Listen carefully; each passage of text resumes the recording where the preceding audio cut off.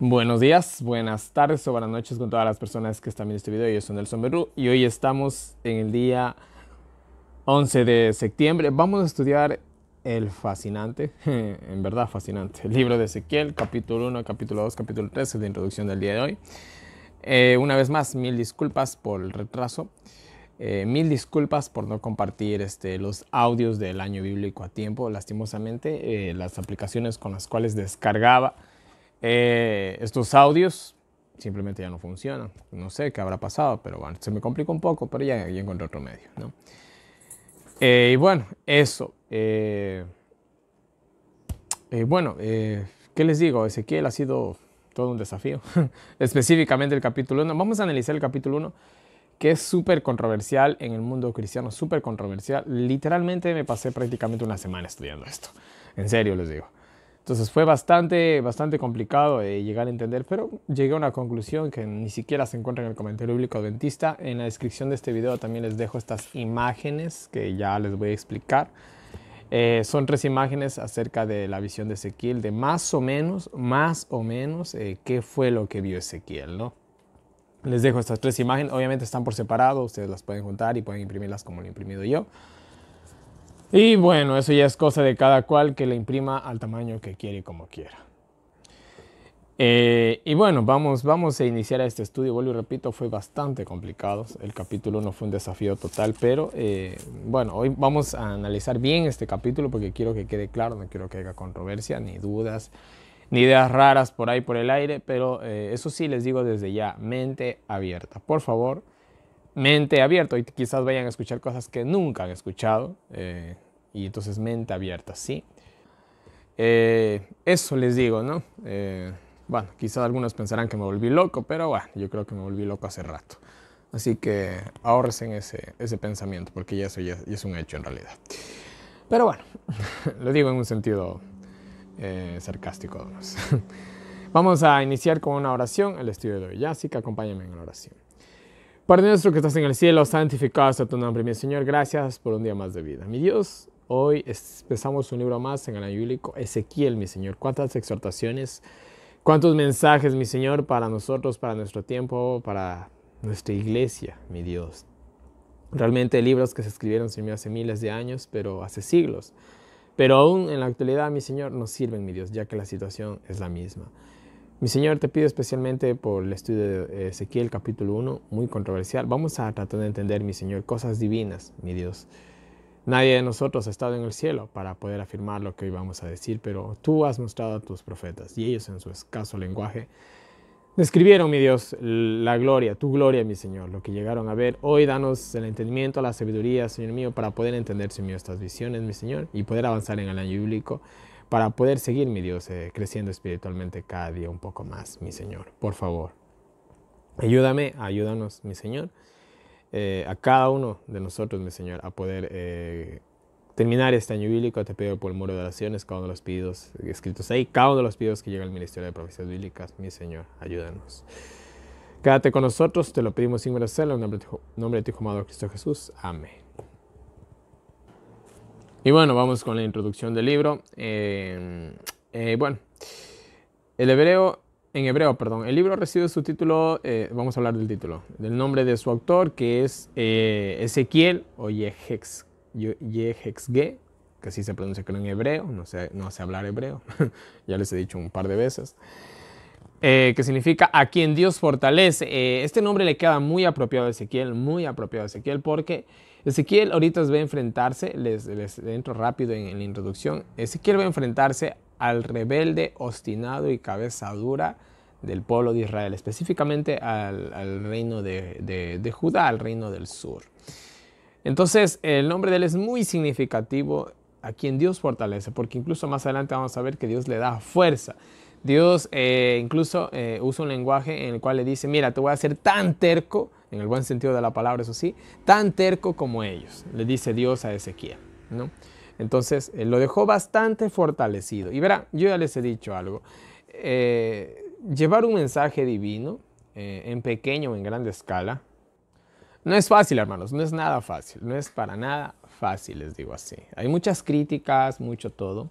Verán, yo por ejemplo, y les aviso de paso, ya que están viendo este video, estoy a punto de formar eh, uno o quién sabe cuántos grupos acerca de, de salir al campo y, y, acerca de lo que es la reforma pro salud, eh, lo que es medicina natural y todo eso. Ahí van a haber dos, dos eh, jovencitas que van a estar a cargo de estos grupos. ¿no? Van a haber dos jovencitas que van a estar a cargo del grupo. Una especialista en el campo y la otra especialista en lo que es, en, es terapeuta, mejor dicho, ¿no?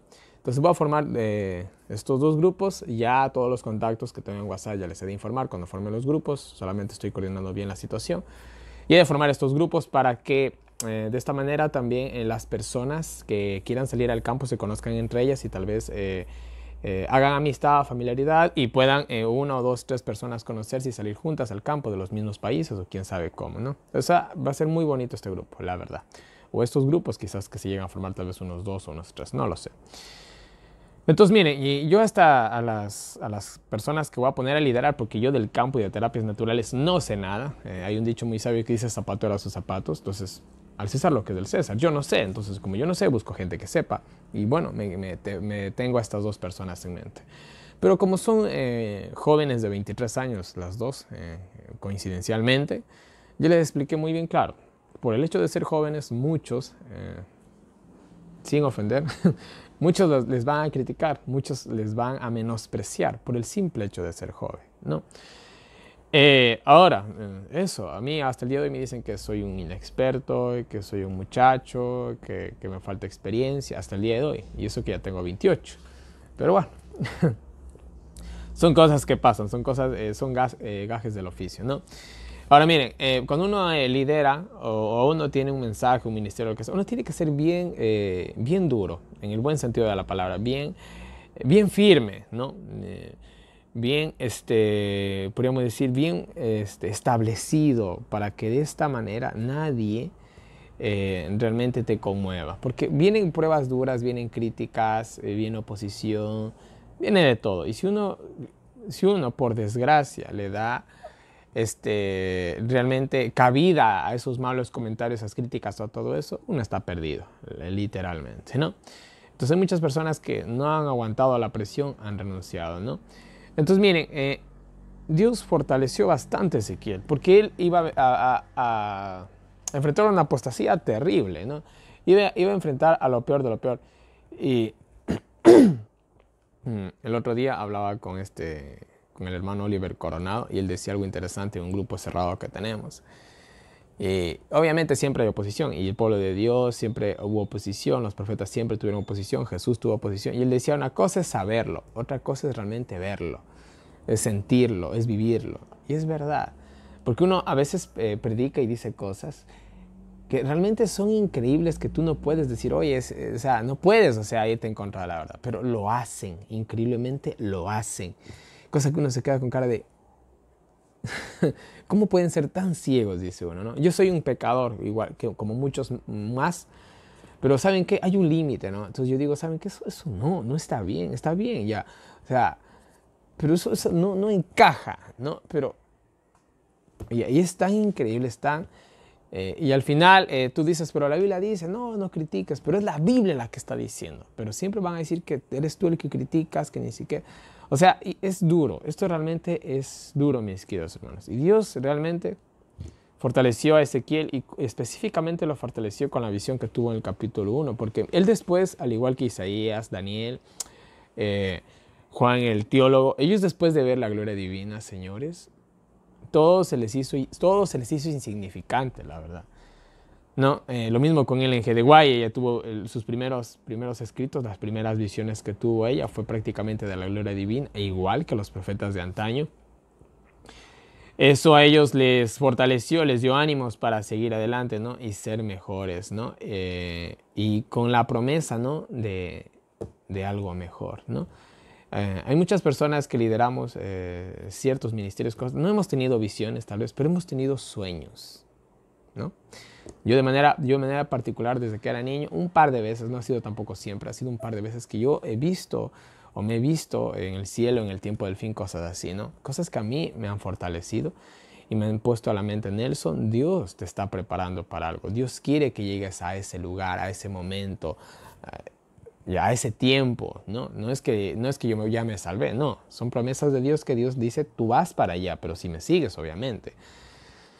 Entonces, eso eh, les, eh, amplío un poco en el título. Vamos con el autor. ¿Quién fue el autor? Posiblemente Ezequiel, ¿no?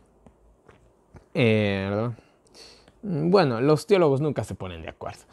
Yo hasta donde entiendo fue Ezequiel y eso también prácticamente lo dice el comentario bíblico adventista, quedémonos ahí. Marco histórico. Ezequiel comenzó su profecía en el año del cautiverio de Joaquín, alrededor del año 593-592 fue cuando empieza todo esto, ¿no? Ese es el marco histórico. El reino del norte había desaparecido como si 100 años, como ya eso ya también vimos cuando estuvimos en Reyes. la, en Judá su caída estaba en, la, puerta, a la vuelta de la esquina, ¿no? Eh, ¿Qué más tenemos? Bueno, ahí sabemos vino Nabucodonosor, etcétera, etcétera, ¿no? Eh, y bueno, dice que después de un reinado de solo tres meses, eh, habla del rey Joaquín, dice que este, ¿dónde quedé? fue llevado eh, cautivo a Babilonia, el, buen Ezequiel, ¿no? Junto con 10.000 de los principales del pueblo, ¿no? O sea, eh, él, a ver, eh, Ezequiel inicia su ministerio en el año 593-592 y es llevado a Babilonia alrededor del año 597, ¿no? Quedémonos con eso, nada más. O sea, que el tipo estuvo unos, tal vez unos cinco añitos ahí, desde que comenzó hasta que se lo llevaron al pobre. Y ya, mire, en el tiempo de aquí tenemos a profetas contemporáneos. Tenemos a Ezequiel y a Daniel, que ya vamos para Daniel. Sigue Ezequiel, sigue Daniel, que yo sé que todos están esperando ese libro. Entonces, mire, eh, son, eh, fueron profetas contemporáneos. Eh, Daniel en la corte, Ezequiel con los cautivos. Y me falta otro más que no lo tengo en mente. Por ejemplo, Jeremías también, obviamente, Jeremías. Pero bueno, él estuvo en los años finales prácticamente. Vuelta, él se quedó. Claro, Jeremías. Jeremías se quedó, Ezequiel se llevaron con los cautivos y Daniel este, con, en la corte real, ¿no? Tres profetas contemporáneos, ¿no? Quizás ni se conocieron, pero ahí está. Hoy en la actualidad, ¿cuántos, eh, entre comillas, por ser una palabra, profetas contemporáneos hay? Y eso que Babilonia está a punto de exiliarnos. Pero bueno, sigamos. Eh, perdón, dice, tales fueron eh, los tiempos turbulentos en, en, que Ezequiel, siendo todavía joven, fue llamado al oficio profético. Tenía aproximadamente, se cree que tenía 30 años. Las, casi, casi la edad que tengo yo, yo soy un poco más joven.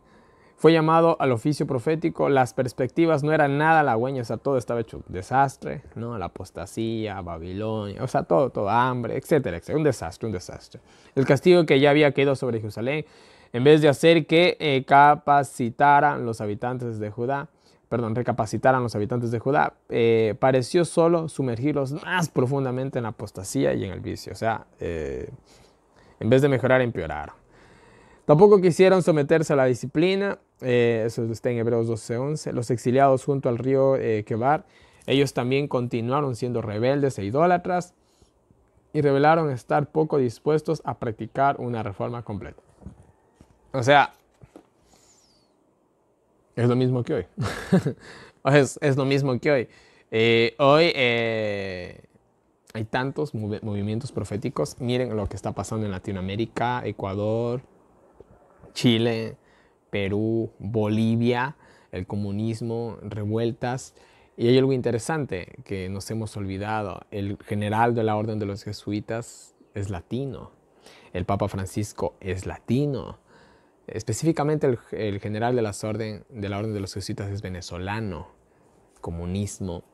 Eso hice un video hablando de él cuando fue elegido, por ahí búsquenlo. El nuevo general de la Orden de los Jesuitas creo que se llama el título, no me acuerdo. Simplemente eh, Latinoamérica le tocó la hora. Le tocó la hora. El día en que vimos que había un general de la Orden de los Jesuitas latino, era que se nos prende el foco hace rato. Y con un papa jesuita latino también hace rato. Señores, y están pasando todas estas cosas y la iglesia no dice nada. Pero bueno, vamos a dejar eso ahí para no entrar aquí en, controversia. El tema del libro, eh, vamos a leer todo esto. Dice, el libro de Ezequiel se compone de dos partes distintas. En la primera se registran los mensajes dados por Ezequiel a los cautivos cerca del río Quedar, perdón, perdón, Quebar, Quebar, en las proximidades de Babilonia, en su mayor parte antes de la caída de Jerusalén, alrededor del año 586 a.C. La segunda eh, está entre los capítulos 33, 21 hasta el capítulo 48 hasta el final. Anticipa la terminación del cautiverio y tenía el propósito de infundir esperanza debido a esa restauración. ¿no? O sea, una a los exiliados, otra a la restauración. ¿no? O amonestación y restauración, pocas palabras. ¿no? Dice, Dios tenía la intención de exhortar vivamente por medio de Ezequiel a Israel del cautiverio para que aceptara finalmente el plan divino. Para él una exhortación tal eh, resultaba muy apropiada, en, muy apropiada ante los nuevos acontecimientos históricos. El plan del libro corresponde con un estilo evangélico. Característicos, varios mensajes se dedican a señalar los pecados del pueblo. ¿no? El doble propósito, en primer lugar, eh, lograr que el pueblo se arrepienta, o sea, una reforma verdaderamente, eso sí. Y en segundo lugar, revelar la necesidad de la ayuda divina para la obediencia futura prometida en el nuevo pacto. Es lo mismo que hoy, es lo mismo, lo mismo, lo mismo. Reavivamiento y reforma, podríamos decirlo así, ¿no? Entonces, ese en sí es el tema del libro y es lo que vamos a ver a lo largo del libro. Todas las visiones, todas las cosas raras, eh, entre comillas, por usar una palabra, que Dios le mandó a hacer al pobre Ezequiel, todo tenía ese propósito. Que la gente se diera cuenta de que estaban mal y vuelvan a Dios. Siempre prácticamente el mensaje de los, de los profetas era ese en realidad. Y bueno, después de esta pequeña introducción al libro de Ezequiel, vamos ahora sí al capítulo 1. Hermanos, primero que nada, vuelvo y les aclaro mente abierta. Eh, hay algo llamado el beneficio de la duda. Denle esto, eh, esto, den esto, por favor, al capítulo 1 de Ezequiel, el beneficio de la duda. Puede ser que me volví loco, bueno, puede ser que me volví loco. Eh, puede ser que esté en la razón, puede ser que esté en la razón, puede ser que esté a medias, puede también ser que esté a medias. No les digo que se tome mi palabra como si fuera la palabra de un profeta o la palabra de Dios, por favor, no lo haga. Yo solamente soy un muchacho frente a una cámara con acceso a internet, eso es todo lo que soy. Eh, nada más tratando de entender también algo que es casi inentendible, ¿no? Que es muy difícil de entender, mejor dicho, ¿no? Entonces, eh, pero eh, como yo hasta el día de hoy lo he hecho y lo trataré de hacer hasta el final del año bíblico, no voy a dejar nada a mi imaginación. Vamos a coger la Biblia y vamos a coger el Espíritu de Profecía. De hecho, aquí tengo el libro de Profetas y Reyes que me van a ayudar.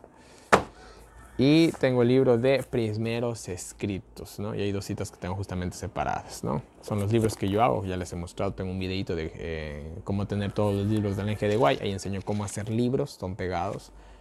Yo tengo todos los libros del Espíritu de Profecía, porque sinceramente prefiero tenerlos en físico que en el celular. Algún rato el celular se me daña, se me pierde, no podemos usar celulares también, saben, en el futuro, entonces... Eh, prefiero tener los libros en físico, sinceramente. y sale súper barato, ¿eh? Súper, súper barato, mejor que comprarlos. Eh, estamos hablando de un ahorro de un 70% si tú mismo los haces aproximadamente y te queda, si compras la computadora, si tienes la computadora, si compras la computadora y la impresora, que digamos, digamos, te gastas exageradamente unos, depende de la computadora que te compres, unos 500 dólares y el resto te gastas en materiales, tienes para hacer libros hasta decir basta. Yo he hecho libros como no tienen ni idea, ¿ya? Eh, pero bueno, en fin, me estoy saliendo del tema una vez más. Entonces, miren, mente abierta, por favor, beneficio de la duda. Eh, vamos a tratar de usar textualmente eh, todo lo que es la Biblia y que la Biblia se interprete a sí mismo, sola. ¿Ya? Y vamos a analizar texto por texto, así que mucha atención. Lo que estén haciendo, déjenlo de hacer, pongan la atención máxima, eh, más que sea por, por solo el capítulo 1, el capítulo 2, capítulo 3, no me pongan atención si no quieren, pero el capítulo 1 pónganme atención máxima para que puedan entender lo que les voy a tratar de decir, aquí, ¿no? Y bueno, primero empieza el versículo 1, dice así, y aconteció en el año 30, en el mes cuarto, el quinto día del mes, estando yo en medio de los cautivos junto al río Quebar, los cielos se abrieron y vi visiones de Dios. Primero que nada nos habla del año 30, del año 30 de quién, de qué o por qué, parece que es en el año 30 de la vida de Ezequiel. Más o menos es eh, eh, lo que se cree, ¿no? Mm, más o menos. Que Ezequiel debió haber tenido 30 años cuando fue llamado. Es la edad en la que empezó Jesús su ministerio. Algunos profetas, Juan el Bautista también, etcétera, etcétera, etcétera. ¿no? Eh, aquí Ezequiel parece que ya estaba en Babilonia, si no, mal, si no estoy leyendo mal. Sí, ¿no? Eh, y bueno, tiene esta, esta visión en el famoso río eh, Kebar, que es un río eh, que también se lo puede mejor. Bueno, el río Kebar mejor se lo identifica con el río Nari Kabari, que es un río que estaba en Babilonia, ¿no? Y eso, estamos alrededor del año 592, 597 aproximadamente. Bueno, ustedes ya saben cómo son las fechas, ¿no?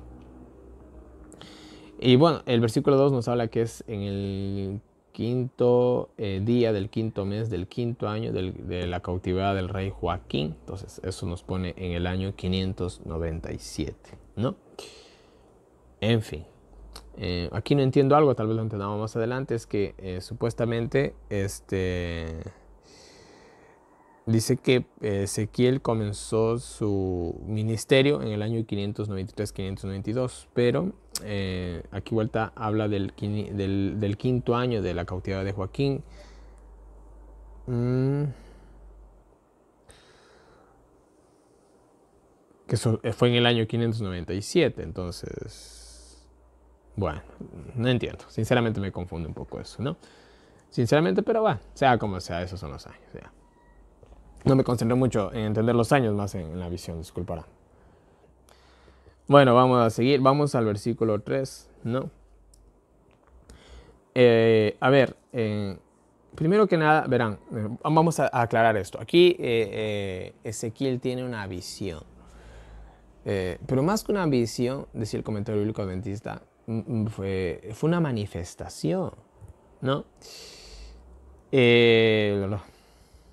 O sea, lo que vio Ezequiel no fueron cosas solamente imaginarias, fueron cosas reales, ¿no? Obviamente que Ezequiel no se fue en persona al cielo, ¿no? Eh, pero en sí su personalidad, su espíritu, como se lo llama, que es la personalidad, la mente de la persona, pudo proyectar, pudo proyectarse a ver estas cosas, ¿no? Más o menos, entiéndame un poquito. Las misiones de Dios tampoco son fáciles de entender, ni cómo los profetas las pueden ver. No es algo que no es, no es una ciencia que se puede explicar. Entonces, más o menos por ahí, ustedes ya me entienden lo que les trato de decir, ¿no? Eh, bueno, le vino eh, palabra, eh, la, a ver. Dice que vino palabra de Jehová sobre él. Él era sacerdote, algo interesante. Ezequiel pertenecía a la línea de los sacerdotes, ¿no? Y bueno, le vino a la visión de Dios, ¿no? Y comienza así. Mire, y aquí un viento tempestuoso, un viento ah, ah, huracanado, perdón, es lo que vio, ¿no? Eh, y este, este viento venía del norte, significativo que venía del norte, eh, porque todas las invasiones del pueblo de Israel venían del norte, y que venga también este viento y toda esta visión del norte, esto también es un símbolo de que eh, del norte no solamente viene la destrucción, sino también tranquilamente puede venir este, la salvación, más o menos el mensaje que nos quiere dar, ¿no? Y bueno, dice que eh, del norte venía una nube rodeada de fuego ardiente que iluminaba, ¿no? En medio de la nube, eh, como el brillo de un relámpago dorado, ¿no? Del norte también bueno, perdón, eso ya leí. ¿ya? Entonces, aquí verán, los eh, profetas de la Biblia, ellos, disculpen, ellos en su escaso lenguaje que en ese tiempo tenían, ¿no? Ellos más o menos trataron de describir lo que veían, que no es que tampoco fue una descripción exacta, ¿no? Verán, si les voy a poner un ejemplo. si ustedes Perdón. Digamos que ustedes son unos viajeros en el tiempo. Vienen ustedes de hace 300 años atrás y ustedes me ven con, bueno, esta es la carcasa de mi celular. Ustedes me ven con esto pegado al oído y hablando. ¿Qué van a decir ustedes? Ustedes no van a decir vi a alguien con celular. Ustedes no conocen esa palabra. No saben qué es el celular. No saben para qué sirve el celular. Como ustedes ven que mi celular es cristalino, es cuadrado. ¿Cuál es esta forma? Rectangular creo que es. Ya. Eh, ¿Qué van a decir ustedes? Yo vi a alguien con una especie de cristal con el que hablaba.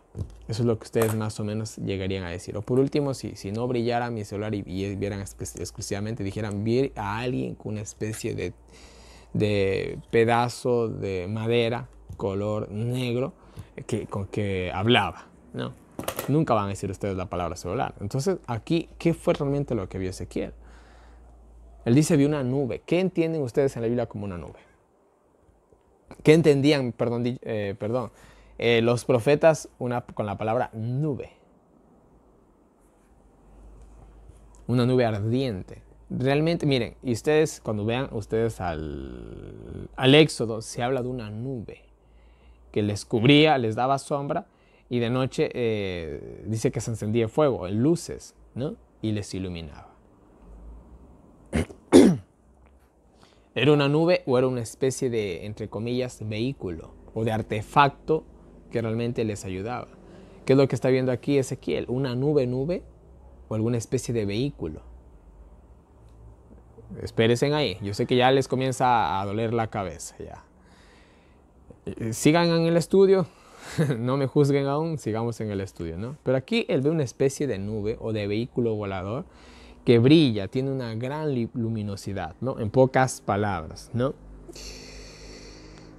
En, el centro de todo este, eh, de, esta, de esta nube, eh, estaban seres vivientes, ¿no? Eh, los cuales parecían hombres, parecían hombres, pero no eran exactamente hombres, ¿no? Tenían cuatro caras y cuatro alas, cada uno diferentes, ¿no? Este, ya.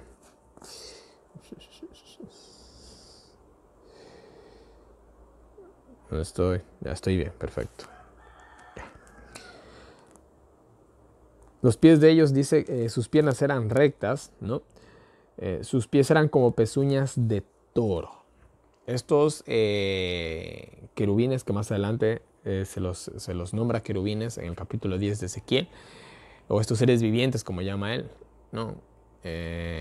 tenían patitas como de toro. ¿Eran patitas de toro o era alguna especie de botas? Tranquilamente. Vuelvo, otra vez, vayan ustedes, por favor. Eh, viajen, hagan de cuenta que viven hace 300 años atrás, viajan al futuro y ven a alguien con botas. ¿Qué van a decir? Les vi con unas botas. No, le vi como, como, ¿cómo lo describirían? Posiblemente los seres vivientes tenían alguna especie de botas, puede ser tranquilamente. No, es pecado pensar que los, los eh, eh, las huestes celestiales tienen alguna especie de armadura. Pueden tenerlo tranquilamente, ¿no? Simplemente, ¿no? No tienen por qué andar, este, a veces uno se imagina a los ángeles y se los imagina desnudos o solamente con una bata. No, o solamente emanando luz. Pueden también tener ciertos artilugios que nosotros desconocemos. Oye, puede tenerlo tranquilamente. La Biblia incluso habla de espadas. ¿Cómo son las espadas de los ángeles? No tenemos ni idea, ¿sí me entiende? Aquí, aquí vuela, vuela un poquito la imaginación aquí, ¿no? O posiblemente realmente sus pies eran como los pies de un toro, puede también ser, pero también puede ser que les vio con alguna especie de calzado, también puede ser, o sea, puede ser lo uno como lo otro, nadie puede afirmarlo, nadie puede desmentirlo, ¿ya? ¿Me, me, hago entender? Vamos a seguir en el estudio, ¿no? Eh, dice que eran, a ver, eran brillosos, ¿no? Eran como el, bronce pulido. Entonces miren, yo ya les voy este, mostrando esta imagen de aquí, donde está, donde está esta imagen, acá. Más o menos, eh, los que están escuchando el audio pueden irse a las imágenes y descargar las imágenes, ¿no? Más o menos, eh, Ezequiel vio algo así, ahí ¿no? ¿Cómo me pongo para poder yo también ver? ahí estoy bien. Ya. Ezequiel más o menos vio algo así una especie de ser humano, humanoide, podríamos usar una palabra actual, eh, de color rojizo, dorado, bronce y luminoso. Más o menos algo así vio. No es exacto lo que ustedes están viendo. Otra descripción un poquito tal vez más clara eh, es esta, ¿no? que yo les dejo. Aquí incluso se le ve como destellan relámpagos, porque también esto más adelante nos dice que los seres vivientes destellan relámpagos. Fue algo más o menos así. Solo fíjese en los seres vivientes. Ya después hablamos de las ruedas. pudo haber sido algo más o menos así lo que vio. Vio algo mega súper increíble, vamos a usar esa palabra mejor, ¿ya? Eh, entonces eso, los tipos emanaban luz, era una cosa bárbara lo que estaba viendo el pobre, ¿no? Bajo sus alas manos como humanas, pero no eran manos de ellas, parecen que eran manos divinas, las manos del Espíritu Santo, quién sabe, posiblemente tenían hasta cuatro manos porque tenían cuatro alas, ¿no? Tenían cuatro alas y debajo de estas alas manos, ¿no? Eh, no era la mano de ellos, parece que eran las manos de Dios. ¿Cómo, ¿Cómo, entendemos ahora esto? Ni idea, sinceramente. Yo no me imagino un ser sin manos, ¿no? Eh, pero ahí está, ¿no? Son cosas que entendemos, cosas que no entendemos, ¿no? ¿Dónde me quedé?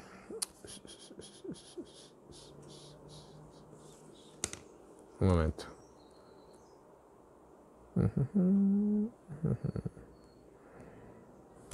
Ya, vamos al versículo 9, seguimos. Dice que las alas eh, de uno se juntaban a las alas del otro, estaban como medios pegados, parece ser.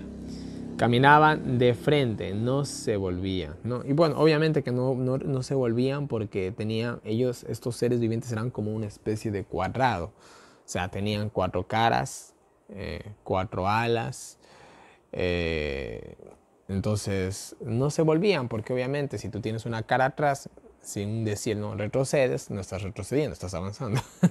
y si avanzo no estoy uh, retrocediendo, sino avanzando. Entonces no hay manera de que yo este, retroceda si tengo cuatro lados. No, simplemente me voy a una dirección. Eso es todo. Eso es realmente lo que trata de decir aquí el profeta. ¿no? Eh, listo. Ahora, sus caras. Eh, ca tenían eh, la, la, cara de al frente eh, la cara, podríamos decir, sí, la de al frente eh, era cara de hombre, la de la derecha de león, la de la izquierda de un buey o de un toro, la de atrás cara de águila. ¿Qué significan estos animales? Bueno, yo leí, verán, créanme que para entender ese que leí muchísimo, leí muchos comentarios, muchos libros y bueno, les voy a dar las mejores explicaciones que, les, que entendí, ¿no? Eh, eh, la, eh, la, cara de hombre significa, puede significar la divinidad o este, la inteligencia. ¿no? Eso también puede significar la divinidad o la inteligencia, porque acuérdense que nosotros somos hechos a la semejanza de Dios. Entonces, Dios tiene cara humana, o nosotros, mejor dicho, tenemos la cara de Dios. Entonces, puede significar la divinidad o la inteligencia, porque el ser humano también es, el, animal, por así decirlo, más inteligente, o el ser vivo más inteligente del planeta Tierra. Significa inteligencia. Eh, el león soberanía, realeza, ¿no? Eh, ferocidad. Este, bueno, muchas cosas significa el león en la Biblia. ¿no? Eh, el buey, ¿no? la fuerza, el sacrificio también. Porque acuérdense que el sacrificio más excelso, más caro, por así decirlo, era el de un buey o de un torito o de un ternero, en lo que es en el sistema levítico. ¿no? Entonces, eh, ¿qué significa el buey? La fuerza o el sacrificio. Mm, estoy hablando en el sentido bíblico, ¿no? Eh, el águila, ¿qué significa el águila? bueno, eh, el águila este, también es el rey de las aves, ¿no? El, águila es poder, es regio, pero en la Biblia, ¿qué significa el águila? ¿Qué significan las alas del águila? Velocidad, ¿no? protección, ¿no? Eso significa el aire. Entonces, todos eh, estos seres vivientes tienen eh, estas caras significando eso. Eh, rapidez, realeza, inteligencia, este, fuerza. Tranquilamente, ellos significan todo esto, ¿no? Seguimos. ya. Listo, estoy después. Ya. Eh, bueno, con dos alas dice que se cubrían el cuerpo y con las otras eh, dos se tocaban entre sí o con las otras dos volaban también podríamos decirlo, ¿no? Caminaban donde el espíritu les decía sin volverse atrás. A ver, los ángeles están sujetos al Espíritu Santo. El Espíritu Santo está sujeto a Dios y, perdón, a Jesús y Jesús está sujeto al Padre. Esto, así funciona la jerarquía en el cielo. Dios da una orden, la cumple el Hijo, el Hijo da una orden, la cumple el Espíritu Santo, el Espíritu Santo da una orden, la cumplen los ángeles, los ángeles dan una orden, y la cumplimos, bueno, aquí se rompe el, el eslabón. Pero esta es la idea, ¿no? Que la cumplamos nosotros, ¿no? Pero lastimosamente a veces no es así. Entonces ahí está, es una línea, ¿no? Entonces, ¿a quiénes son guiados o quiénes, eh, eh, quién maneja estos, estos seres? El Espíritu, el Espíritu Santo más exclusivamente. Más o menos lo que trata de decir, más o menos lo que dice el Espíritu de profecía, lo que dice la Biblia, ¿no? Pues Dios manda y los ángeles obedecen, en este caso los querubines, ¿no? La explicación más plausible, ¿no? Ah, ¿Dónde me quedé? ya. Ya, entonces ellos andaban donde el Espíritu les decía, ¿no? o donde Dios les decía. También podríamos decirlo así, tranquilamente. ¿Por qué? Ya van a ver, porque más después se ve el trono de Dios encima de ellos. Y ahí, ahí, ahí vamos a, ver otras imágenes para entender mejor esto. En medio de los seres había algo brillante, ¿no? Eh, escribí aquí?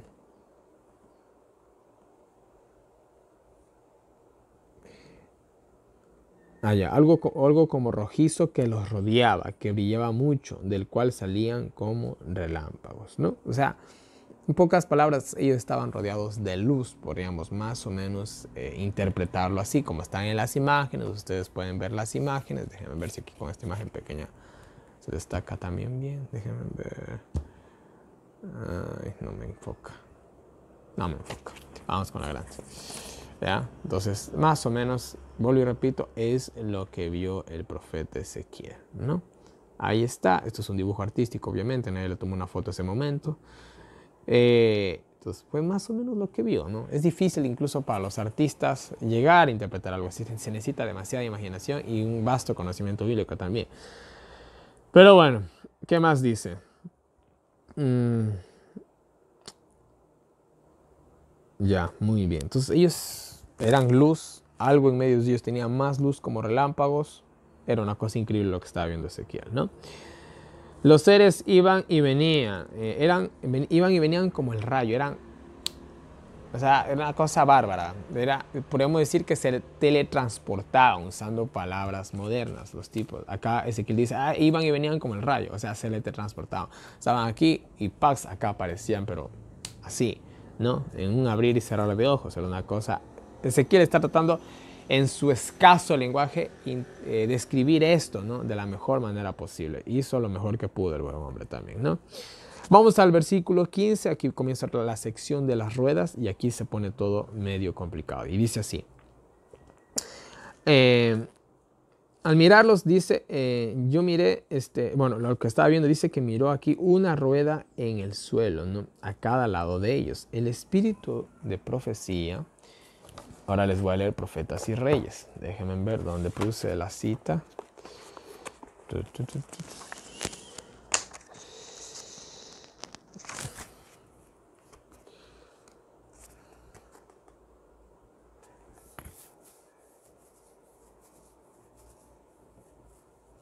Ya.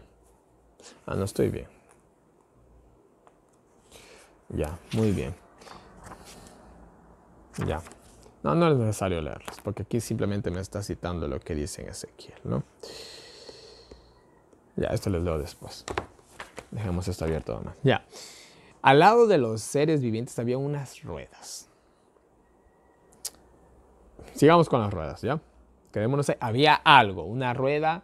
No dice específicamente un círculo, dice una rueda. Y una rueda es como una llanta, es, eh, es, este, es, es en un plano, ¿no? Una rueda obviamente es, algo ya tridimensional, podríamos decirlo, y una rueda es algo en dos dimensiones. Eh, pero este, ve unas especies de ruedas, quédense con eso, ¿no?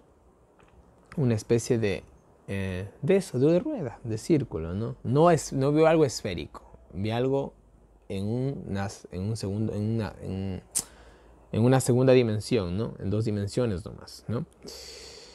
Eh, ¿Dónde me quedé? ¿Dónde me quedé? Allá. Ah,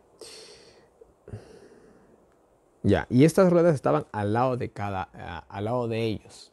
Entonces ellos y las ruedas tenían un propósito. ¿Cuál es el propósito? Ahora, muchos ven aquí platillos voladores. Verán. Bueno, voy a seguir mejor leyendo y ya les explico esto, ¿ya? Las ruedas. Las ruedas parece que tenían, no sé, bueno, aquí por ejemplo en mi Biblia dice eh, que las ruedas eran como el berilio, ¿no? El berilio es como verde brillante, espejo más o menos, ¿no? A ver.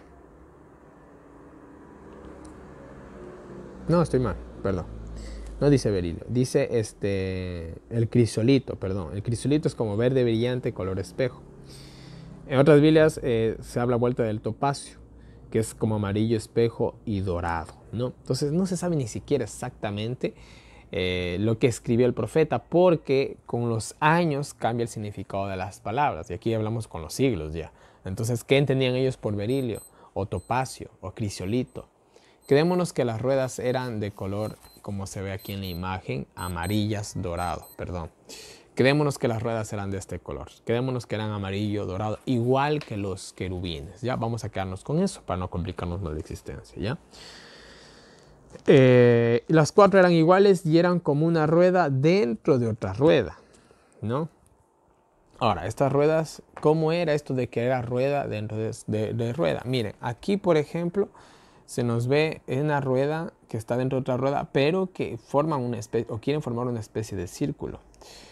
Pudo haber sido así la rueda, o también pudo...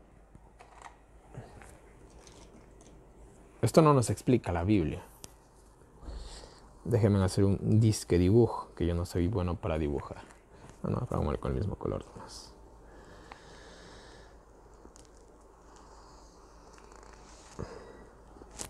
Listo. Disculpará, soy pésimo para dibujar. o pudo haber visto algo así, un círculo dentro de un círculo, dentro de un círculo, en la misma dimensión. ¿Pudo haber visto algo así? Bueno, también pudo haber. No es tan claro específicamente la Biblia. Pudo haber sido algo así, una especie de círculo girando dentro de otro círculo, de otro círculo, ¿no? Simplemente eso, pudo haber visto eso también. Ahora, sigamos. Eh,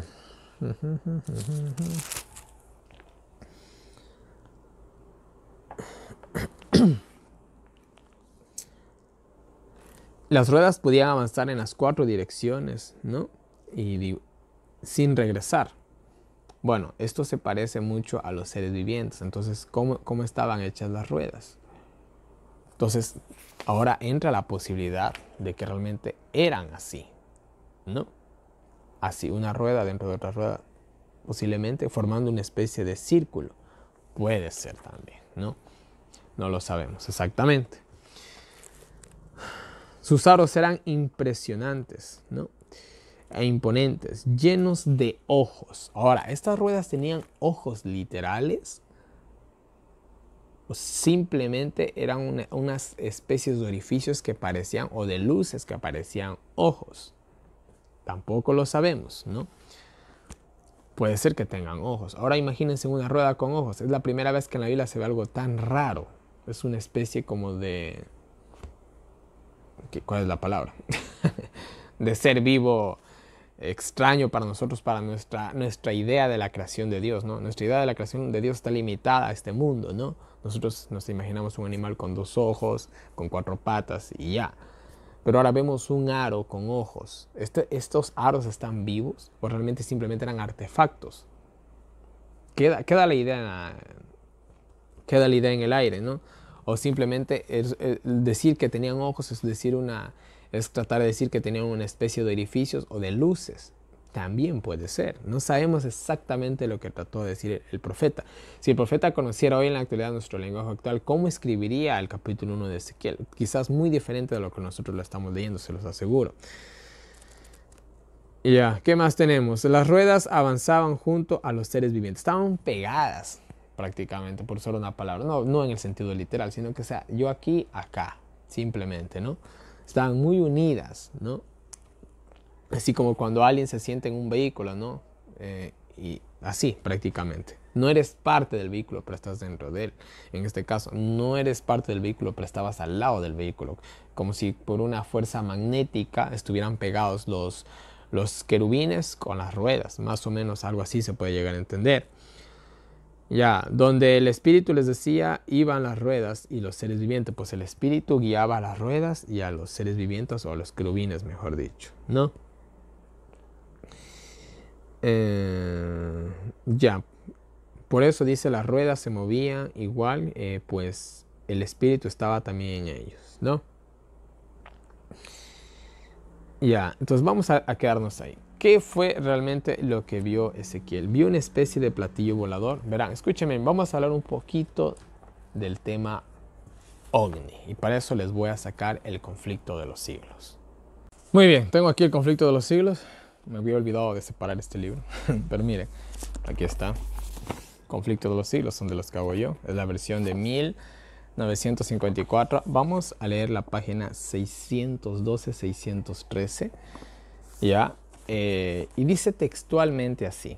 Vuelvo y repito, El conflicto de los siglos, la versión de 1954, página 612-613. Entre estas dos páginas está el comentario que yo les voy a leer, más específicamente la página 612. Ah, incluso en la versión electrónica sale así, página 612, ¿no? Y ustedes pueden buscarlo. Y dice textualmente así hablando de eh, Pueden hablar eh, nuestros muertos, es el título del capítulo 35 del conflicto de los siglos, ¿ya? Vuelvo y repito, es el capítulo 35 del conflicto de los siglos con el título Pueden hablarnos nuestros muertos. Y no voy a entrar en todo el contexto de la cita, solamente voy a leer la cita eh, que me interesa presentarles aquí y dice así. Además, Dios ha prohibido expresamente toda supuesta comunicación con los espíritus de los muertos. Primero que nada, nosotros como adventistas sabemos que cuando nosotros, cuando supuestamente se contacta con el espíritu de un muerto, se está contactando con un demonio. Literal, ¿ya? Eso eh, no hay ni que creer la discusión, todos, esos, todos sabemos eso.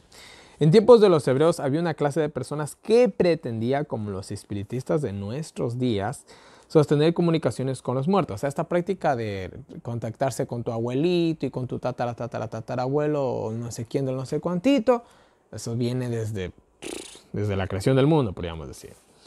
Pero la Biblia, escuchen, miren, textualmente voy a leer este pasaje bíblico, pero la Biblia declara que los espíritus, escuchen, como se solía llamar a los visitantes de otros mundos. Repito. Pero la Biblia declara que los espíritus, como se solía llamar a los visitantes de otros mundos, son espíritus de demonios. Yo lo podría, eh, si yo fuera G. de White y estuviera escribiendo el conflicto de los siglos en esta época, lo podría escribir así. Pero la Biblia declara que los espíritus, como se suele llamar a los extraterrestres, son espíritus de demonios. Este tema lo vamos a eh, expandir bastante en Apocalipsis. Es decir, la Biblia habla de ovnis extraterrestres. Bueno, el espíritu de la profecía lo está haciendo y la Biblia también lo hace. Escúchenme bien, estamos en Ezequiel. No, eh, no, este, no se me aceleren.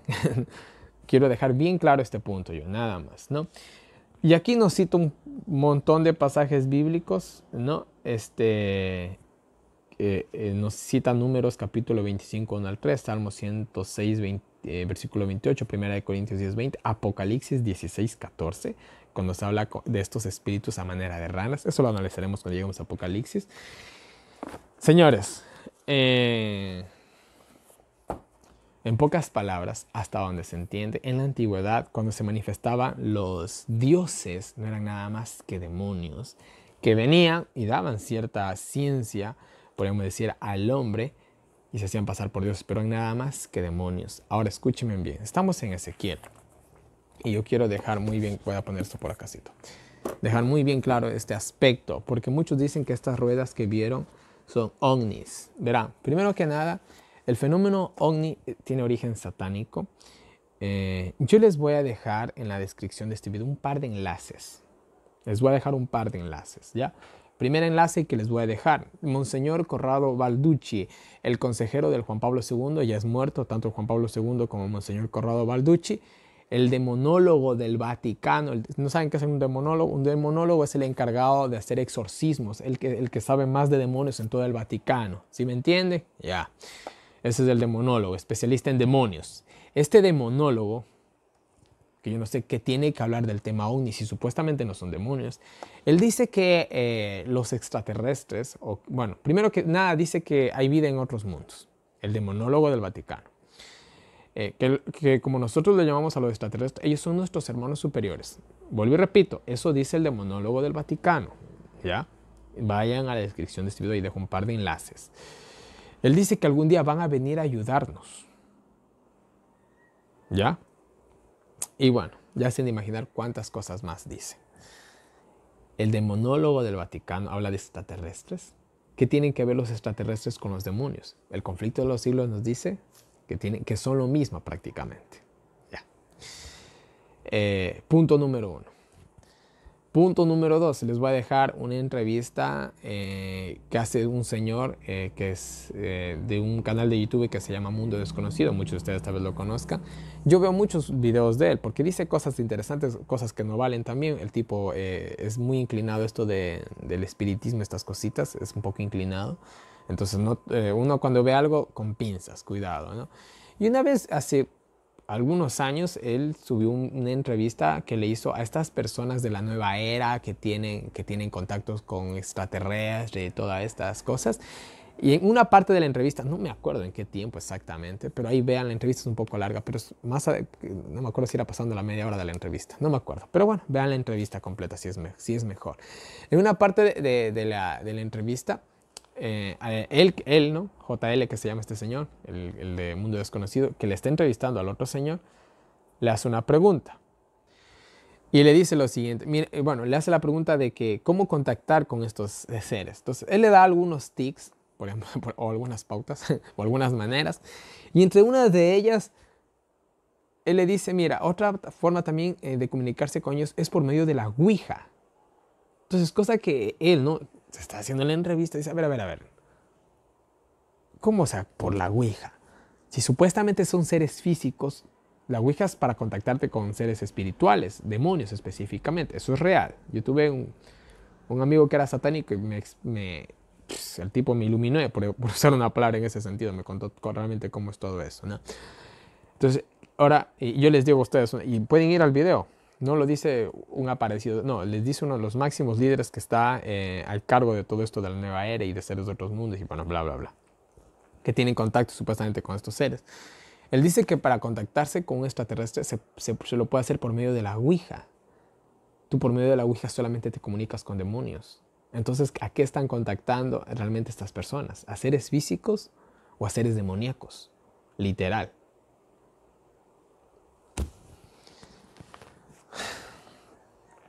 Y otra manera también de atraer a los platillos voladores o estos seres es sentarte en medio campo, como en los lugares altos del pueblo de Israel, en algún valle bonito, tranquilo, meditar y dice que muchas veces se te aparece. Hay otro video, no sé si este video aún estará en YouTube, ojalá esté, lo dejo en la descripción de este video, de un, eh, de un psicólogo adventista él se mete, les resumo esto, yo esto lo estudié yo hace mucho tiempo, todo este tema del, tema OVNI, yo quise llegar a la verdad. ¿Por qué? Porque si realmente el tema OVNI y los extraterrestres realmente son seres de otros mundos, Dios no existe, Dios no es real. Porque si Dios es real, obviamente hay vida hasta decir basta en el universo. Quizás ya llegan millones de planetas creados, como pueden ser miles o más, no lo sabemos. Eh, el alcance de Dios no tiene límites, ¿no? Entonces, eh, eh, si Dios creó vida en otros mundos que sí lo hizo, ellos fueron, en, el sentido de la santidad, fueron tal y cual como lo fue Adán y Eva antes del pecado. Por ende, es imposible que nosotros tengamos contacto con ellos, porque ellos son santos, ¿no? Ellos son cloro, nosotros somos moro. Al contacto morimos con ellos. Entonces, es imposible que ellos puedan venir a, visitarnos. Hasta donde entiendo, la manera es que está hecho este planeta Tierra hace imposible que incluso el ser humano pueda salir de aquí. Hay muchas cosas más. Eh, pero bueno, vamos a dejarla simplemente ahí. Estamos en una especie de prisión, podemos, decir. El planeta Tierra es una especie de prisión. Nadie puede salir de aquí. Nadie. Que el hombre ha llegado a la Luna, a Marte, mm, eso es totalmente cuestionable. Pero bueno. Y si llegaron, no lo hicieron por los medios convencionales. La única forma creo que de poder llegar a uno de esos planetas es por medio de una puerta dimensional, pero eso es otro tema. Pero bueno, eso es irrelevante al estudio. Entonces, miren. Pero bueno, verán mejor les entro rápido a eso, me estoy alargando mucho con este video. Y este psicólogo que se hizo adventista, o era adventista, no me acuerdo muy bien, él, encuentra algo interesantísimo. Él, eh, eh, hablando con estas personas que tienen estos, estas abducciones extraterrestres, eh, todos sus pacientes le, le dijeron algo muy interesante. Le dijeron que cuando eh, estaban a punto de ser raptados por estos seres. Ellos eh, mencionaban este, al Padre, al Hijo, al Espíritu Santo, mencionaban a la, a la deidad. Y dice que estos seres los dejaban. Muy raro. si son seres físicos, verá, yo que, yo, yo, yo, que en mi niñez y mi adolescencia sufrí actividades paranormales casi, casi semana a semana por cuestiones de, de, ver películas del mundo. Ese testimonio ya les he compartido varias veces. Yo varias, yo cuando ya comenzaba todo la situación y venía el espíritu y me comenzaba a jalar y se me, bueno, etcétera, etcétera, ni para qué recordar esos momentos horribles. yo, me, yo hacía un mega super esfuerzo humano para tratar de, pronunciar la palabra Dios o Jehová, ¿no? Y como a veces uno se paraliza, no puede hablar, eh, en mi mente comenzaba a orar. El momento en que yo comenzaba a orar, esos manes cogían y se iban por donde venía. O sea, siempre era mi salvavidas eso. siempre. Y cualquier persona que ha tenido actividades paranormales puede dar ese testimonio, que con el momento en que tú mencionas a la deidad, esos pobres se van, se van de una. Si mencionas directamente Padre, Hijo y Espíritu Santo, los pobres te dejan, pero así, ¿no? Pides ayuda divina, se van por las mismas. Entonces, miren, este, este señor descubre eso, varios pacientes, habla con otras eh, personas que escriben eh, cuestiones de, del tema OVNI y testimonios de abducciones, y todos saben eso, que y todas las personas que están en el mundo de, del, tema OVNI, de las aducciones, saben perfectamente, todos ellos saben, pero lastimosamente no es algo que salga a la luz, porque si sale a la luz, obviamente no son seres eh, físicos de los que se está hablando, sino seres espirituales, demonios exclusivamente. De que eh, todos ellos saben de que cuando alguien está, siendo a punto, ah, está a punto de ser este, abducido por estos seres y menciona la deidad, lo dejan. ¿Por qué? Porque son demonios son seres espirituales. Ese es el famoso tema ovni, lo dice el espíritu de profecía. La Biblia en Apocalipsis vamos a aclarar bien eso también, que la Biblia al menos dos veces nos, en Apocalipsis nos menciona esta cuestión de los seres de otros mundos, que tienen un papel muy importante en el tiempo del fin, aunque ustedes no lo crean. Si, escúchenme, si el consejero de Juan Pablo II, el demonólogo más importante del Vaticano en su época, dijo que algún día los extraterrestres van a venir a ayudarnos, las cosas hay que tomarlas muy en serio. El Vaticano tiene un telescopio que está buscando vida en otros mundos llamado Lucifer. Interesante el nombre del telescopio. Ya. Hay, una, hay, una, hay un testimonio de, eh, eh, del secretario del, del Papa Juan XXIII les voy a tratar de dejar todo lo que encuentren, que encuentre verídico, ¿no? Yo estoy, todo lo que les estoy diciendo es verídico, no es ninguna invención mía. el secretario de Juan 23, él ve con sus propios ojos cómo una vez eh, un platillo volador aterrizó ahí en el patio del Vaticano, en cierta parte del Vaticano, no sé exactamente dónde. Bajaron unos seres, Juan 23, esto él, él, lo dice frente a la cámara, ¿ya? El secretario, mentira, ¿verdad? No lo sabemos, pero él dijo eso de que Juan 23 estuvo conversando como una hora con seres de otros mundos. Después de conversar, dice que los seres se fueron en su platillo volador. Eh, y él se quedó atónito, pues. Y dice que el Papa simplemente se le acercó y le dijo eh, que Dios tiene hijos en todas partes del universo, algo así le dijo. ¿Ya? He hablado demasiado, pero bueno, sé que son cosas que tal vez ustedes desconocían. Vuelvo y repito, mente abierta, vean hasta el final del video, por favor. Ahora escúchenme bien. Seguimos con Ezequiel. eh,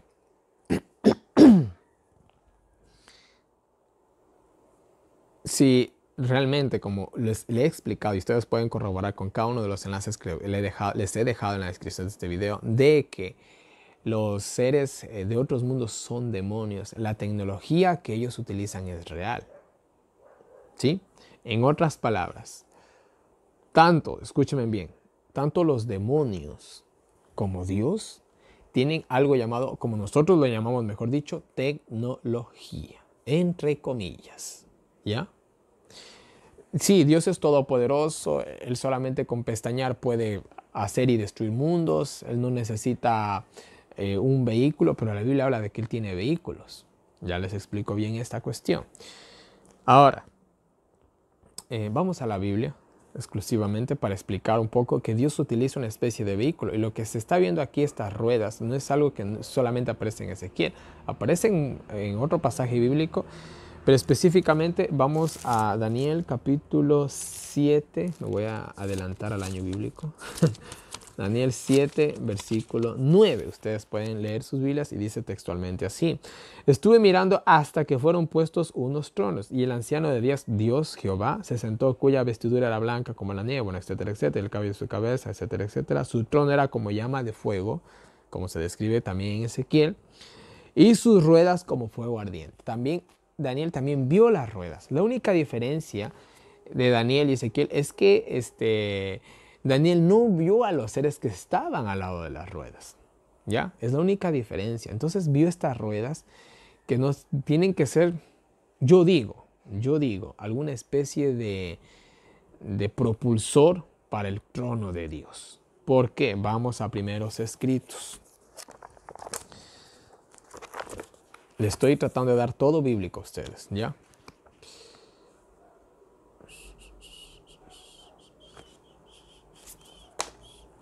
Primeros escritos, eh, sí, primeros escritos, página 55, exclusivamente con el título El fin de los 2300 días. Con ese título está si no llegan a la página. Y dice así, vi al Padre levantarse del trono.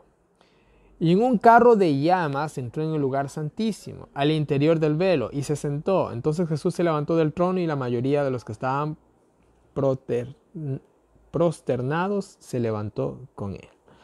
Un carro de llamas entró en el lugar santísimo. El carro es movible, un carro de llamas, de luz, de fuego. Eh, no lo sé, pero vemos que el trono de Dios, ¿qué cosa es? Es una especie de vehículo, como nosotros le diríamos en nuestro lenguaje actual. Y ahora, eh, otra, otra, algo más que también me salta un poquito, me voy a Apocalipsis ahora. Primeros escritos, página 35, está con el título Visiones subsiguientes, ¿ya? Primeros escritos, página 35, dice así, habla de cuando ya somos llevados al cielo los salvos, que esperemos ser parte de ese grupo. Dice, los santos vivientes fueron transformados en un instante, en un instante, estamos hablando de ya, de cuando se nos lleva al cielo por mil años. Y arrebatados con aquellos en el carro de nubes un vehículo de nubes, un vehículo volador. Miren cómo es, miren cómo es el carro de nubes.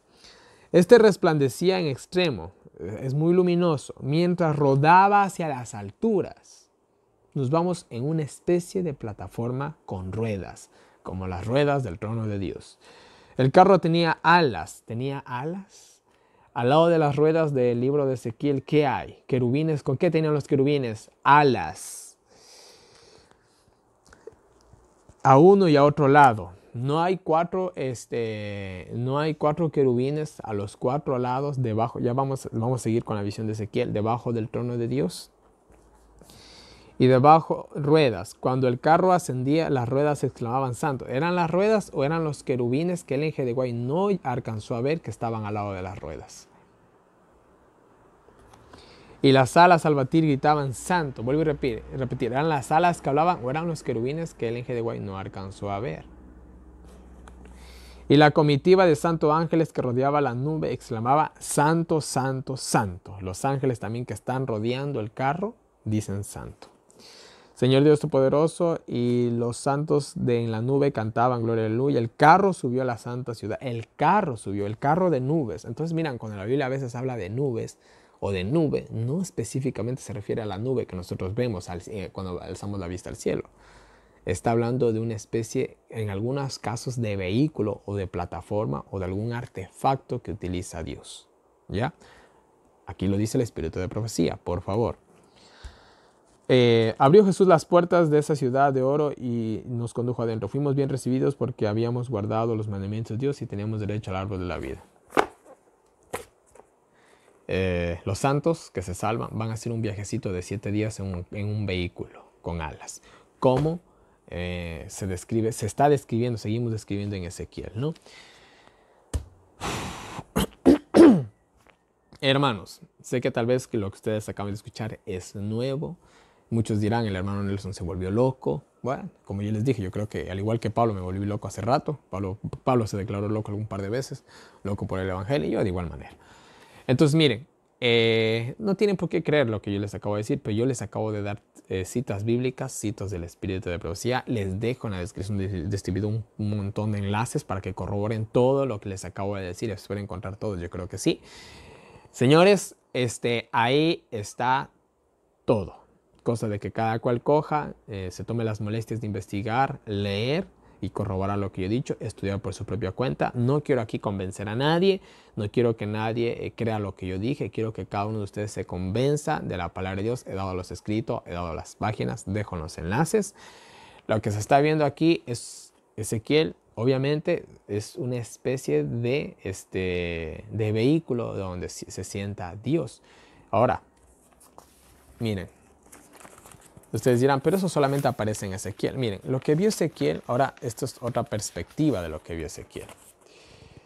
Eh, ya vamos a la descripción de lo que vamos a ver. Miren, aquí es otra figura. Aquí incluso los querubines aparecen de color bronce, pero no dorado. Ya, ahora, eh, las ruedas también se ven diferentes, pero bueno. Este, el trono de Dios tiene que ser algo así cuatro seres abajo, las ruedas obviamente imagino que mueven el trono de Dios, arriba el trono de Dios, alrededor de él los 24 ancianos, cuatro seres vivientes más que tienen solamente una cara diferente cada uno, al lado de Dios dos serafines con seis alas, con los cuales dos se cubren el rostro, dos se cubren los pies y con los cuales dos vuelan. Ezequiel solamente vio esto. Daniel tiene otra visión y ve solamente otra perspectiva. Eh, Juan el teólogo ve otra visión y ve otra perspectiva. Isaías de igual manera ve otra visión y ve otra perspectiva. ¿Qué les trato de decir? El trono de Dios es así como lo van viendo, con más cosas. 24 ancianos alrededor, cuatro seres vivientes al lado suyo, eh, perdón, alrededor suyo también, y dos eh, serafines que, que, están al lado de él, como sus guardaespaldas, podríamos decirlo, ¿no? Mientras estos cuatro eh, querubines, que tienen solamente cuatro alas, a diferencia de los serafines, ¿no? Este, son simplemente, este, podemos decir, los jinetes del carro de Dios. Es a la conclusión que llegué. Que puedo estar loco, que puedo estar equivocado. Ya les dije, yo no quiero poner aquí mi, mi, mis conclusiones, no se las quiero imponer a nadie. Ustedes están escuchando un comentario, nada más, no es unidad dogmática para mí es lo más plausible, porque muchos hacen, eh, se confunden, ¿no? Eh, aquí los querubines aparecen con cuatro alas, después se ven otros ángeles con seis alas, después se ve a otros eh, querubines que solamente tienen una cara, vueltas estos tienen cuatro. O sea, ¿de qué estamos hablando? Pues simplemente son diferentes. Unos, unos son los jinetes del carro de Dios, los otros están ahí protegiendo la gloria divina, los otros cuatro simplemente están obedeciendo las órdenes de Dios. Todos tienen un papel diferente, no son los mismos. Estamos hablando de tres tipos de, al menos, tres tipos de ángeles diferentes, los cuales están a la custodia o alrededor de Dios para su servicio. Simple y llanamente así. Es como lo expongo. Si creen que los serafines, los querubines y los seres vivientes son lo mismo, señores, eso es cosa de cada cual. Yo les he explicado aquí, en la mejor manera, lo que yo he entendido de todo lo que leí. Y obviamente yo también, basándome en la experiencia de, de, lo que vimos, incluso miren, estos, eh, estos este, querubines, la manera en que están puestos se parece muchísimo a los que puso Salomón en el templo. Acuérdense que había dos ángeles al lado del arca, en reverencia, ¿no?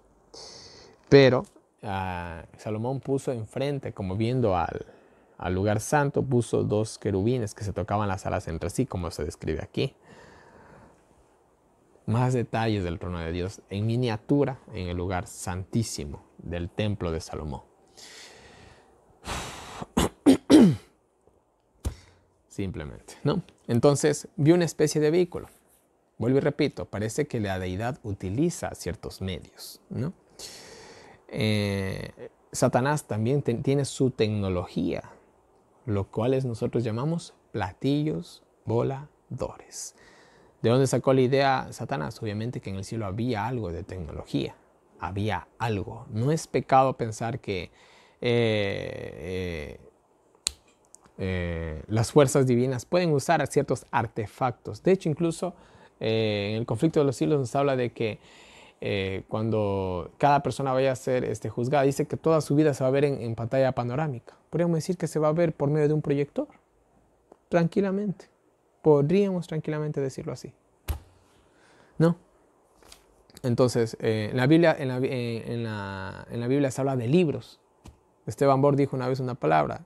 Si Daniel estuviera ahora, él, escribiera eh, y vi que se abrieron, no los libros, se abrieron las computadoras, o se abrieron las lactos, porque son, hoy en la actualidad para nuestro, nuestro contexto, son qué cosa? Medios de almacenamiento. En la antigüedad se veían qué cosa? Los, ¿Qué era un medio de almacenamiento? Un libro. Hoy vuelta sería una computadora. Ya. Eso es todo. O sea, no es pecado pensar que Dios tiene ciertos artilugios que nosotros llamamos tecnología. ¿Sí me entiende? Esto a Dios no lo convierte en un marciano, eh, color verde y con, y con antenas. No, nada que ver por el estilo. Lastimosamente a nosotros nos han proyectado una idea errónea ¿no? de los seres de otros mundos, ¿no? Y esto vamos a analizarlo bien cuando lleguemos a Apocalipsis, porque es uno de los eh, eh, engaños satánicos más grandes que ha habido en la historia, ¿no? Vida en otros mundos. No son vida en otros mundos, son demonios que están entre nosotros, que usan tecnología, que dan tecnología al hombre. La tecnología va a tener un papel muy importante que jugar en el tiempo del fin. Sí, la marca de la bestia es el día domingo, sí, pero ¿cómo vamos a saber, cómo se va a saber quién guarda el sábado y el domingo exactamente? Si me entiende? Ahora, ah, se me está olvidando de algo. Antes de que me, antes de que me, me apedren. me quedé. Ya. Verán, en la Biblia todo tiene un significado. Estas ruedas que Ezequiel las ve tan confusas tienen un significado. La vara de Aarón tiene un significado. El arco iris del trono de Dios tiene un significado. El hecho de que tenga un significado no significa que es una figura imaginaria no significa eso. ¿Ya? Simplemente que tiene un significado. La vara de Aarón tiene un significado, el maná tiene un significado, tiene un significado. Pero, pero por eso fueron figuras imaginarias. No, fueron figuras, eh, fueron artefactos, fueron cosas eh, tangibles, ¿no? Físicas, pero que tienen un significado. Eso es todo. Entonces, estas ruedas que son algo físico, ¿no? Algo literal, tienen también un significado. ¿Qué significan las ruedas? ¿Qué significado vio el espíritu de profecía que significaban las ruedas? Dice, eh, Profetas y Reyes, página 393. ¿ya? Dice, las ruedas eran tan complicadas en su ordenamiento que a primera vista parecían confusas y sin embargo se movían en armonía perfecta.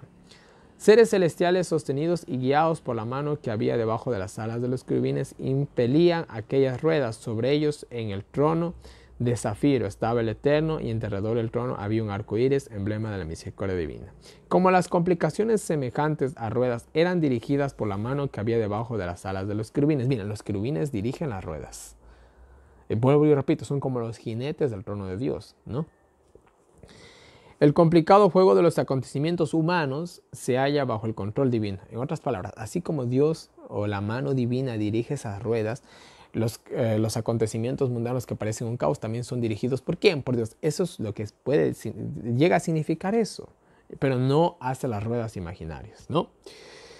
En medio de las disensiones y el tumulto de las naciones, el que está sentado más arriba que los querubines sigue guiando los asuntos de esta tierra. Ahí está. Ese también es el significado, es el significado de las ruedas, ¿no? Pero vuelvo y repito, son artefactos reales, literales, tangibles, físicos, como ya lo vimos y como ya lo dijo Daniel, como lo dice Ezequiel, como lo dice el espíritu de profecía, señores. Simplemente Dios parece que utiliza una especie de vehículo, nada más, ¿no? Sino de dónde sacaron los reyes y los papas la idea de ser llevados en hombros por cuatro personas. No es nada más que una barata imitación de esto, de Dios siendo llevado por querubines, ¿no? Hasta eso tiene significado, por si no lo sabía.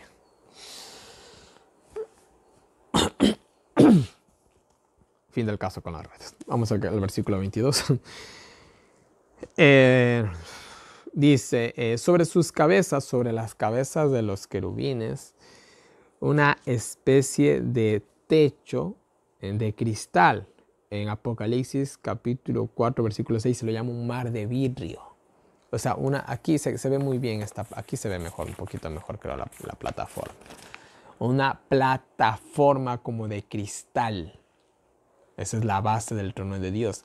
Lo que están abajo de las ruedas son, podríamos decir, las llantitas del carro de Dios, que son dirigidas por cuatro querubines que van donde Dios les dice. ¿Ya? Eso es lo que estamos viendo, o lo, lo que vio Ezequiel. ¿Dónde me quedé? Ya. Eh, bajo, bajo esta plataforma de cristal, sus alas se tocaban entre sí, ¿no? Eh, a lo alto. Bueno, un poco complicado entender esto. Y con las otras dos alas se tapaba, ¿no? Bueno, parece ser que como que con las puntitas trataban de tocar la plataforma, ¿no? Y con las otras dos se cubría. Más o menos, es, creo que es lo que quiere decir Ezequiel. Sus alas, escúchenme bien, en toda la Biblia solo, solo, hay un pasaje bíblico donde se repite este fenómeno y es en Apocalipsis capítulo 9, hablando específicamente de la quinta trompeta. Cuando lleguemos a Apocalipsis vamos a hablar de eso, ahorita no voy a hablar porque aquí y el video está largo, imagínense, y, y aún no termino el capítulo 1, creo que esto lo voy a hacer en dos partes. Pero bueno, eh, imagínense, este, bueno, cuánto más va a tardar. Entonces, cuando llegamos a Apocalipsis 5, voy a explicar muy bien Apocalipsis 5 desde dos puntos de vista. Ustedes verán con cuál se quedan. Para mí los dos son plausibles, pero bueno. Apocalipsis capítulo, perdón, 9, eh, la quinta trompeta. Dice, sus alas sonaban como río crecido, como, el, el como un ejército, ¿no? Como la voz de Jehová.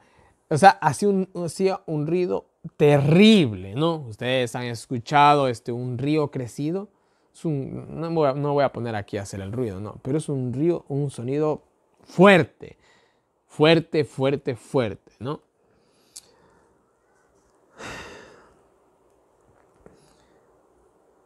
Cuando se detenía, bajaban sus alas, símbolo de reverencia, ¿no? Un ruido se oía desde la bóveda, desde la plataforma que estaba sobre ellos. ¿Quién era? Era Dios que hablaba. Y ellos se detenían, reverencia a Dios, ¿no? Bajaban sus alitas, dejaban de volar, por así decirlo, dejaban de dirigir las ruedas, ¿no? Y reverencia a Dios, ¿no? Sobre ellos se veía un trono azul, interesante el color azul, muy brillante, y en el trono sentado a alguien como figura de hombre, obviamente que era Dios, ¿no? Como figura de hombre, porque el pobre no lo alcanzó a ver. Incluso Ezequiel está viendo un pálido reflejo de la gloria divina aquí, porque si él viera a Dios, el pobre que ya patas arriba muerto, ¿no? Entonces vi algo como metal muy brillante, rodeado de fuego, eh, de su cintura para arriba, ¿no? De la cintura para abajo, vi algo como el fuego, como un resplandor alrededor. O sea, vio algo muy, muy, muy, muy luminoso, algo que no se puede ni describir. Aquí esta imagen se queda corta, ¿no? De cómo más o menos vio a Dios, ¿no? O sea, lo vio forrado de luz. El trono azul, el forrado de luz. Él no ve a los serafines.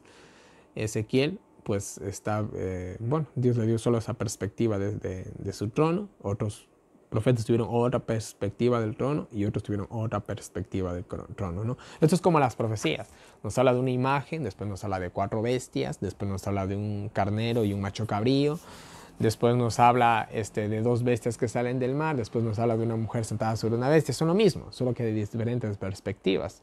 El trono de Dios también fue visto de diferentes maneras, de diferentes perspectivas. Todas juntas forman la idea de cómo realmente es el trono de Dios. ¿no?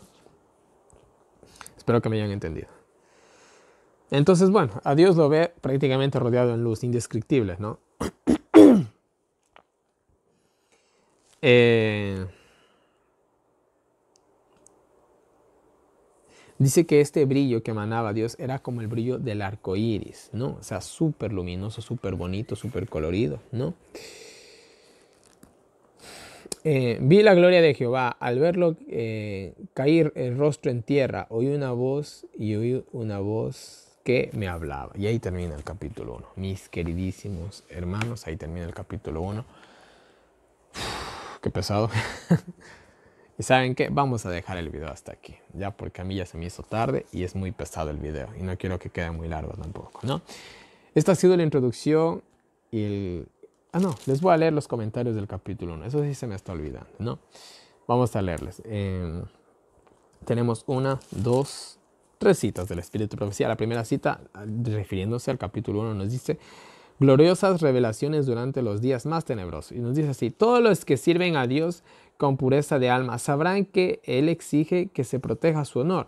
Muchas de las más gloriosas revelaciones registradas en la Biblia fueron dadas por el Señor en las horas más tenebrosas de la historia de la Iglesia. El Señor ha dado esas revelaciones de su gloria para que los hombres queden profundamente impresionados con la santidad del servicio divino.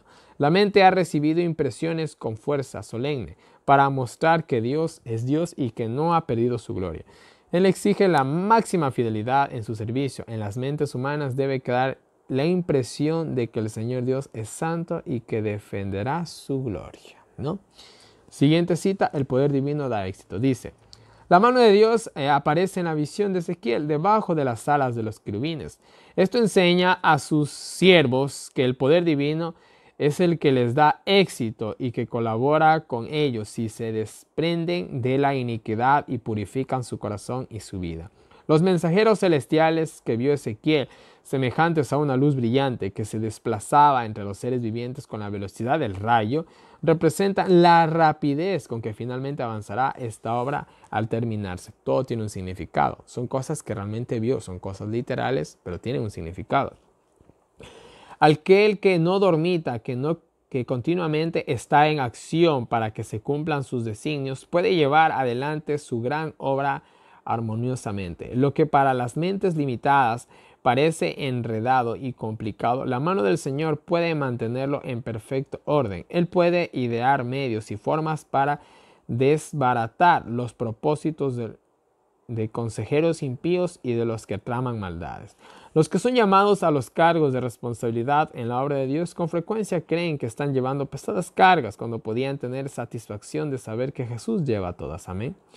Permitimos que haya en nosotros un sentimiento total de excesiva preocupación, de angustia y perplejidad en la obra del Señor. Necesitamos confiar en Dios, creer en Él, ir adelante. La incansable vigilancia de los mensajeros celestiales, su incansante actividad en su ministerio para los seres terrenales, nos muestra cómo la mano de Dios está guiando la rueda dentro de la rueda. El instructor divino dice a cada uno que se ocupa de su obra, como le dijo a Ciro en la antigüedad, yo te enseñaré aunque tú no me conociste, ¿no? Dios dirigiéndolo todo en pocas palabras. Y la última cita nos dice libertad individual y sin embargo armonía completa. Y nos dice así. Dios conoce íntimamente a cada hombre. Si nuestros ojos pudieran ser abiertos, veríamos la justicia eterna que está en acción en nuestro mundo está en función, una influencia poderosa, ajena al dominio del hombre. El hombre puede suponer que le está dirigiendo las cosas, pero actúan influencias que son más que humanas. Los siervos de Dios saben que Él está en acción para contrarrestar los planes de Satanás. Los que no conocen a Dios no pueden comprender sus acciones. Está en acción una rueda dentro de una rueda. La complejidad de la maquinaria es apariencia tan intrincada que el hombre solo puede ver una confusión completa. Pero la mano divina, tal como la vio el profeta Ezequiel, está colocada sobre las ruedas y cada parte se mueve en completa armonía, haciendo cada una, cada una su obra específica y sin embargo con libertad de acción individual. Bueno, mis queridos hermanos, para el buen entendido, pocas palabras. Y miren, hermanos, yo les digo algo más para terminar esta primera parte de, de del 11 de septiembre. Vamos a hacerlo en dos partes de este video porque quedó bastante largo. Y yo les digo algo. Hay cosas que no vamos a poder comprender. Yo he tratado de, en mi capacidad humana y falible y mínima, he tratado de explicar eh, esta visión tan confusa. Sin duda alguna, el capítulo más difícil del Antiguo Testamento, como se lo ha llamado, como lo han llamado algunos teólogos a Ezequiel 1. Lo he intentado humanamente, con todo lo que sé, lo poco que sé, mejor dicho, eh, explicar todo esto, ¿no? Entonces, miren, eh, no tienen por qué este, quedar tan, eh, podríamos decir, este, exhaustos por todo esto, ¿no? Verán, mis queridos, aunque hay cosas que nosotros no podemos entender, nunca perdamos nuestra fe y nuestra confianza en Dios. Eso es todo. Hay cosas que vamos a entender, cosas que no vamos a entender, ¿no? Hemos tratado de entender, he tratado de explicar esto de la mejor manera posible. Espero que les haya servido, espero que les guste. Déjenme un me gusta si, si, si les gustó. De igual manera, ahí están abiertos los comentarios, cualquier cosa, díganme. ¿Tienen alguna idea más? Añádanla, más, tranquilos. aún no grabo ni la segunda parte, ni lo de grabar hasta al menos en unas 10 horas, ¿no? Así que tenemos mucho tiempo para, para cualquier corrección, ¿no? Entonces, miren, este, eso, nada más. Eh, aunque no entendamos, nunca perdamos nuestra fe en. Hay cosas que entendemos, cosas que no. Está bien. Eh, y bueno, mis queridos hermanos, una vez más, en pantalla está toda mi información de contacto para todas las personas que me quieran agregar al WhatsApp, para recibir los enlaces del año bíblico, los audios del año bíblico, preguntas, sugerencias, correcciones, cualquier cosita. Eh, escríbame al WhatsApp si quiere pertenecer a un, estudio, a un grupo de estudio del año bíblico de igual manera.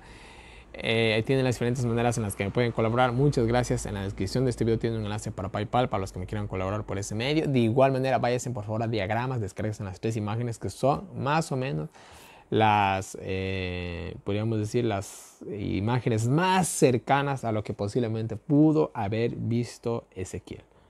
Más cercanas, me atrevo a decir más cercanas, no sabemos realmente si, si son así, pero bueno, creo que es lo que más se acerca a lo que vio Ezequiel. Vayan a cada uno de los enlaces eh, que he dejado en la descripción de este video para que corroboren todo lo que yo acabo de decir. Si por desgracia no encuentro los enlaces, escríbeme, escríbeme al WhatsApp. Les comparto los videos que creo que sí los tengo descargados como sea. Tengo que buscar en mis archivos. Pero yo no quiero eh, que simplemente mis palabras queden en el aire y simplemente sean palabras de un loco. No quiero que sea eso. Quiero que ustedes corroboren también todo lo que yo acabo de decir, ¿no? Eh, y bueno, mis queridos hermanos, eh, a continuación seguimos con la segunda parte de, este, este, con el capítulo 2, capítulo 3 del año bíblico. Así que Ahí nos vemos. Que Dios nos dé a cada nosotros y nos ayude a seguir adelante.